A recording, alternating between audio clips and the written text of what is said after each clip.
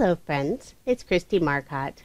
Today I'm sharing some cards I made using Pink and Main's May Crafty Courtyard kit. The theme is Wear a Smile and this kit has more of a masculine feel. So I'm just going to go ahead and show you real quick everything that's included. So there's always the information card that has a list of the products included and also the color palette. There are seven sheets of cardstock included, all 8.5 by 11 in size. There are two in white, and those are alcohol marker friendly. There's a brown, a bright green, a turquoise. There's a red that is pre embossed, and then there's a nice light craft. And there is one specialty cardstock. This is a glitter paper in a pretty yellow. The kit includes a full 24 sheet 6x6 paper pad, and these are all double sided. And I am just going to flip through these really quick. Lots of fun designs, polka dots, there's a few different patterns on there, nice colors. These could work for masculine as well as feminine cards. I love this t shirt design. Matches nicely with the stamp set that's included in the kit, which you'll see later, and a few plaid designs as well. Now here is this stamp set, and this is really fun. I love this t-shirt. You could add some of these sentiments inside the t-shirt or use them independently. And there's also a coordinating die set. So you'll have the die for the t-shirt and then also this really fun smiley face. There is a stencil included in this fun geometric design. And then next there is a package of some wood pieces. So there's three different styles. There's stars, hearts, and then there's also the heart with a rainbow and a cloud. And these are always fun to decorate. You can paint them, you could add ink to them, so many different things. And there's also the package of sequins that coordinate with the pattern paper. There's a nice neutral twine in brown and white. There's an assortment of four different tags. There's a round one, there's just a craft, and then the last two are fabric. So those are really fun. And then there is a sheet of enamel dots, and these are nice, fun colors that match the pattern paper. And then there is a thing of tape. This is like a scotch tape, but it has a sentiment on there. So it has hello all the way across in white print. And then as always, there is a little collector button. This one is hello handsome. And then there are four A2 size envelopes. And then every kit always includes one of their storage bags. And I love these. They're nice for keeping other supplies or your leftover kit. So let's go ahead and get started with card number one. And I'm actually going to do duplicates of every card that I make. So I'll have eight different designs and two of each. So for this first card, I'm using a sketch from OWH. This is number 192. And if you are interested in any of the sketches I show, I have all of that information on my coordinating blog post, and that link is provided in the description box below. I love this sketch. This is perfect for combining multiple pattern papers. So I have some polka dot paper for that upper piece, and on this card, I really wanted to showcase that t-shirt paper here I was trying to rip off the tag that's on the back and it didn't really want to come off so I'm just going to leave the rest of it there. Using some chevron paper for the bottom and by adding all of the cardstock and matted layers it really helps separate those busier patterns. So now before I adhere this rectangle piece with the t-shirt I'm going to add some scrap cardstock on the upper and lower portion of the back side that way it stays nice and even on the card and there isn't that noticeable dip from that red cardstock. I've already gone and stamped out the sentiment. I used some brown ink and this is looking good with the mustache. I stamped this on an oval die cut and just layered it on some of that brown cardstock. And now I'm going to pull out the sequins just for a little finishing touch. And I'm selecting just the gold sequins. I'm just going to adhere these using some small glue dots. These are really staticky, so they keep sticking to my fingers. And of course, the glue dot keeps sticking to my fingers as well. So once I get those detached from my fingers, there is the finished card. I love that Pink and Main decided to release a kit that was more on the masculine side. And I will have a link provided in the description box. Since this is May's kit, you can purchase it individually without signing up for a subscription. So now moving on to the second design, I'm using a sketch from Sketch Saturday. This is number 600. I selected this pretty plaid paper for the background and then I'm adding this light tone on tone polka dot paper for that smaller rectangle piece, layering all of this in some turquoise cardstock. And this is cardstock from my stash. Since I add so many layers to my cards, I do bring in extra cardstock. For that strip going across the card, I'm just using the solid cardstock. If I used one of the pattern papers, I think it would have been too busy. I'm going to add some of the twine from the kit. And normally I would wrap this twine all the way around the card, but I really was trying to save on the twine so I would have enough for all of my cards.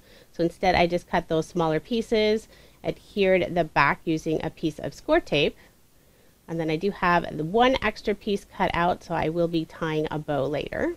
First, I'm going to put my card front onto a card base.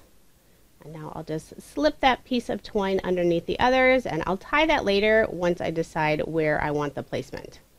Next, I'm going to work on the image and sentiment. I have a stitched tag die. This is from Pink and Main and I'm stamping out the sentiment using a turquoise color. So I'm masking off the sun since I don't want that in the teal color. So I have it in my mini MISTI since I knew I'd have to ink this up a couple times to get a nice solid impression. Now for the sun, I've gone ahead and stamped this out on some yellow cardstock. And I'm just going to do a quick fussy cut. And I did speed this part up quite a bit. This image would be very simple to color, but since I rarely ever color, I thought it would be fun to still add that nice pop of yellow just with some scrap cardstock. And now just to give it a nice clean edge, I'm using a black marker and just going along that outside. And then I'll use some liquid adhesive to adhere it above the sentiment. This yellow cardstock matches so nicely with the pattern paper. And then always trying to keep everything nice and level on my card. I'm adding some various layers to the back of this tag. So I put a piece of cardstock on the very top portion. And now I do want to pop this up using some foam dimensional tape. And since it is going over the twine, I want to make sure to not add any of the foam tape on top of the twine because then there'll be an extra little bump there. So I just keep holding the tag back onto my card, checking to see where I need to add more foam tape. Once I have all of the backing removed from the tape, I can attach that tag to my card. And now I'll just tie a quick bow, putting it on the right hand side of that image and sentiment. And now just to finish off the card, I'm going to add a couple of the sequins, this time just using the green color and I'll add three of them in a row to the right hand side of this green polka dot paper. I love how this one turned out. I think this is my favorite card, but do let me know which card is your favorite. So there are the finished cards. So now moving on to card number three.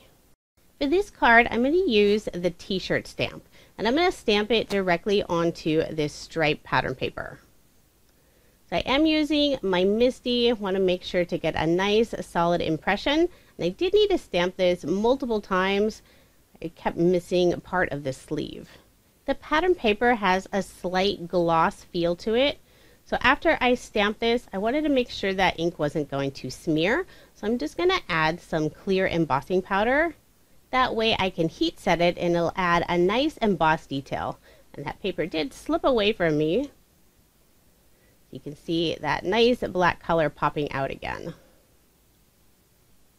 Now I could fussy cut this out so it would be right against that black edge, but I'm going to use the die that's included in the kit and it will have that slight border. So you're still going to see some of that striped paper along the outside, but I think it still looks just fine.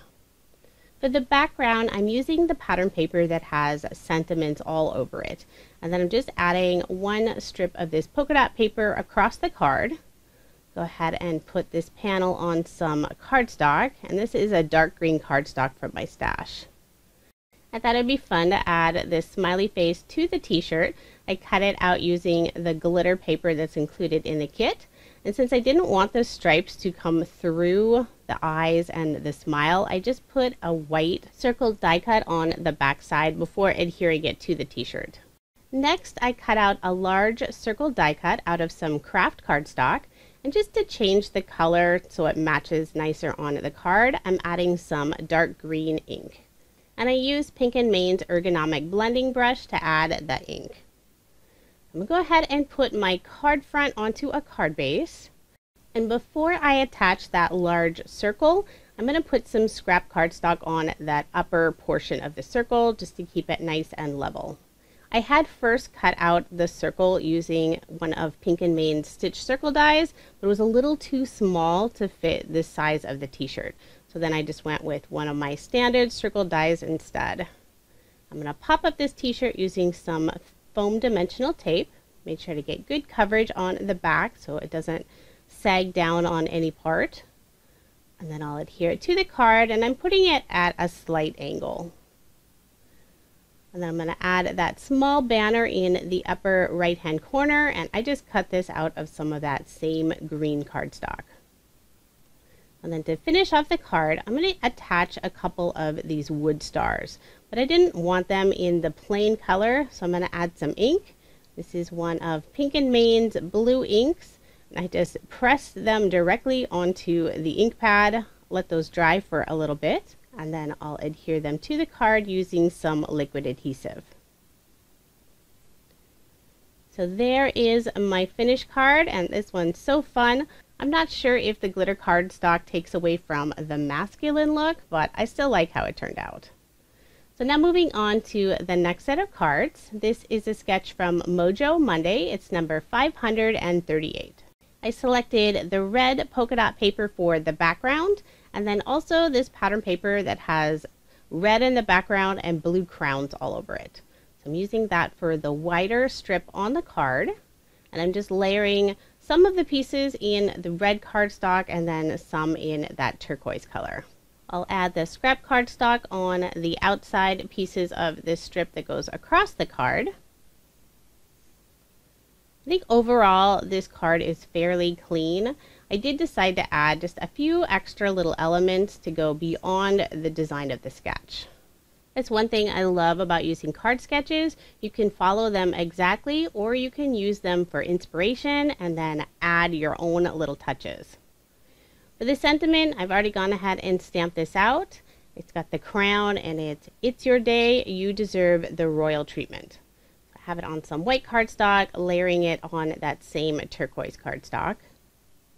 And then for those extra little touches, I'm adding this scallop border to the top of the card and I didn't use a border die cut. Instead, I used Pink and Main's reverse scalloped rectangle frame. The largest die in the set is wide enough to make that border on the top of the card. And then I'm also adding just this thin piece of cardstock. I'm going to put that on top. And again, I did add those extra little layers. So it gets a little trickier when the paper is so thin, but it still worked out fine and then I'll attach that scallop border and then just trim off the extra.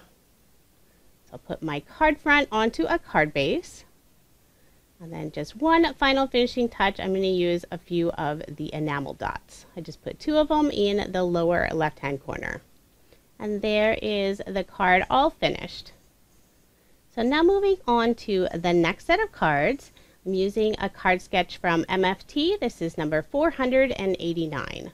I'm using some polka dot paper for the background and then this heart paper with the rainbow and the cloud is going to be this smaller rectangle piece. I'm going to layer all of this in that turquoise cardstock and then I also use that same cardstock for these thin strips that go on the left hand side of the card. I went over the edge just a little bit so I trimmed those off with my scissors. And then before adhering this rainbow paper, I'll add that scrap cardstock to the right hand side. And that first piece wasn't quite wide enough, so I'm just going to add one more. This is a great way to use up some of those cardstock scraps. I don't save all of my leftover cardstock, just the larger pieces. But while I'm working on a kit or a paper pad, I do grab those small scraps while I have them out on my craft table. So I'm going to add some twine to the top of the card, doing the same as before, just cutting the two pieces and then I'll adhere them to the back with some score tape. I'm going to have one more piece cut out so I can tie a bow. First, I'll attach my card front onto a card base. And I do use a lot of ATG tape. Since I donate the majority of my cards, I want to make sure they're not going to fall apart for the recipients. I'll go ahead and tie my bow, putting it on the left-hand side of the card. And now for a little extra embellishment, I'm going to use the heart that has the rainbow and the cloud. And I am going to color. This is something I don't do very often since it bothers my eyes, but I thought I could get away with just this tiny little heart. So I'm using some Copic markers and trying to match the colors in that pattern paper. For this sentiment on my card, I'm going to use the roll of tape that's included in the kit that has hello all across it in white. And I'm just going to attach this on some red cardstock so you'll be able to read that sentiment just cut off the ends and just wrap it around the back of that cardstock. I had a little bit of the tape on the bottom portion. I think I cut that cardstock a little too short, so I just trimmed that off with my scissors. Then I'll add a small scrap of cardstock to the left-hand side of the sentiment, and then I did use a foam square on the right-hand side since there was a little more dimension between the two pieces. And then before I adhere the heart, I'm also going to put that scrap piece of cardstock on the upper area since it's going to go over that sentiment. I'm just always trying to keep everything nice and level on the card. So there are the finished cards, and I think this one turned out really fun as well. Now moving on to the next set of cards. For this card, I won't be using a card sketch. I am going to use the stencil that's included in the kit. So I have some white cardstock and I'm just going to tape the stencil on. I'm using some Distress Oxide ink in the Peacock Feather color and also Pink and Main's Ergonomic Blending Brush. And I'm just doing a very light ink blending on the background. I'm trying to put a little more in that lower right hand corner. And then I'll use the leftover ink on the brush and just add it to the background so there's a little more color. Then next I'm going to stamp out the sentiment. I'm going to put this in my mini MISTI. Did want to add just a little more ink in that lower right hand corner. And I'm using the sentiment, you are always in my heart. I'm just going to stamp that using some black ink. I Had to ink it up several times to make sure I got a nice solid impression. And then I'm going to cut out this piece using a stitched rectangle die by Pink and Main. And then I'm going to layer this panel with two different colors of cardstock. So I have a red and then also that turquoise. And I am going to use some liquid adhesive to adhere this piece. Just want to make sure it stays put. Sometimes when you use the stitch dies, it tends to warp slightly at the edges. So I'll go ahead and attach my card front onto a card base. So this card has lots of layers, but overall is a very simple design. So I'm going to use some more of the wood pieces, this time the heart. So I have two of them and I'm just inking them in red. And instead of getting my fingers all red and inky, I decided to just lay the wood pieces on some scrap paper and then just press the ink pad on top of those wood pieces. And then to adhere the hearts to my card, I'm just using some liquid adhesive and putting them on both sides of the sentiment. I got a little extra liquid adhesive, so I just wipe that away with that scrap cardstock. Now just to finish off the card, I'm going to add some of the enamel dots just in that teal color. So there are my finished cards. Now moving on to my next set of cards. This sketch I'm using is by Freshly Made Sketches. This is number 400. I have some striped paper and then also some brown polka dot paper. I'm just going to layer that in some brown cardstock. And I could have cut the whole back panel using this striped paper, but I thought I'd save some of that pattern paper and instead just cut these thin strips. I think they're about 3 fourths of an inch wide, since the majority of it is going to be covered up by this polka dot paper. So I'll go ahead and put my card front onto a card base. This again is a very simple design. I've stamped out the sentiment just to save on time. This is Hello Handsome. Just layering that in some brown cardstock. And then just to add a little extra detail, I'm using one of the stamps, just stamp that using some green ink and just put that around the sentiment. And instead of adhering this square in the center, I'm going to offset it to the left.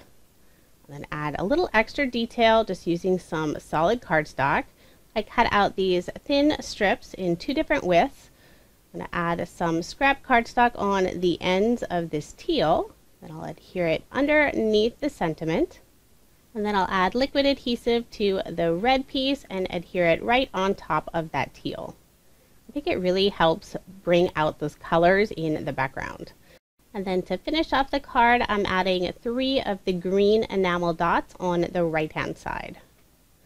So there are my finished cards. Now moving on to my final set of cards. For the background paper, I'm using some of the houndstooth pattern paper and then also just this small piece of some green tone-on-tone polka dot paper. I'm going to layer all of this using this dark green cardstock. Then I also have some craft cardstock just to add a little more detail. I'll attach that pattern paper on the craft cardstock first and then adhere it to this green cardstock. You can see I have a circle cut out of the background. I'm going to add that piece later. Wanted to make sure I had enough of that green cardstock since I think I only had two or three pieces in my craft room. Next I'm going to add some more of the twine and this does finish off the twine. I used every last bit other than those little tiny scraps. So I wrapped two pieces around the top, adhere it to the back using some score tape. I'll put my card front onto a card base. And since there's so many layers on the card, you won't notice that dip from where that circle is cut out of the background. So here's where I'm using that green circle die cut. And I also have a white circle die cut. And I wanted to add a little more color to it. So I'm just using the leftover ink that was on the brush. This is that forest moss color. And then I'll stamp the sentiment using some brown ink, although it looks more black on the card. This is a fun sentiment since it has the sign language for I love you. I'll just use some liquid adhesive to adhere it to that green circle die cut. Then I'll add just that little scrap of cardstock on the left hand side of that circle since it goes off of that banner.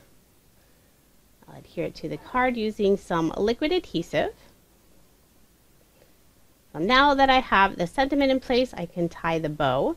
I usually wait because sometimes I'm not sure where I'm going to place the sentiment and I don't want to put the bow on the wrong side. I like to keep everything nice and balanced. And now to finish off the card, I'm just going to add two of the enamel dots in that lower left-hand corner. And I did make the second card, although I didn't have any more of that dark green houndstooth paper, so I used the lighter green instead. Now here's just a quick recap of the 16 cards I made using Pink and Main's May 2020 subscription box. The theme is Wear a Smile, and this is such a fun kit. It has more of a masculine feel to it. I think you could still easily make some feminine cards as well. Since this kit is from last month, it is now being sold individually. You don't have to sign up for a subscription to purchase the kit. I have provided a link in the description box if you are interested in this kit or any of the other products that I used. And I'll also provide a link for the June kit, which is an ocean theme kit and looks really pretty. Thank you so much for watching, and I hope you have a wonderful day.